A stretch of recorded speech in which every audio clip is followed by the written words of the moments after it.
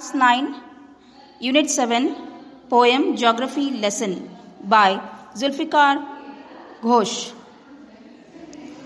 When the jet sprang into the sky, it was clear why the city had developed the way it had, seeing its scales six inches to the mile. There seemed an inevitability about what on the ground had looked haphazard, unplanned, and without style when the jet sprang into the sky.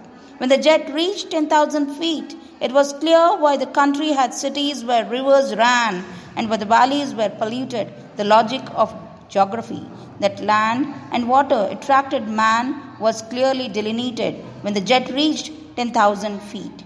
When the jet rose six miles high, it was clear that the earth was round and it had more sea than land.